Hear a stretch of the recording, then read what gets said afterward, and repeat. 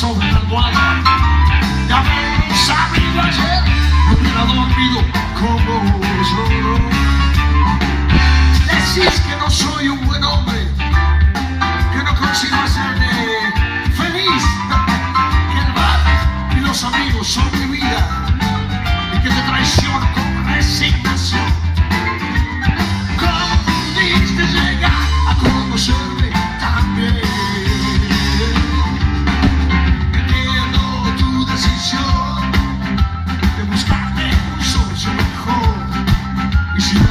De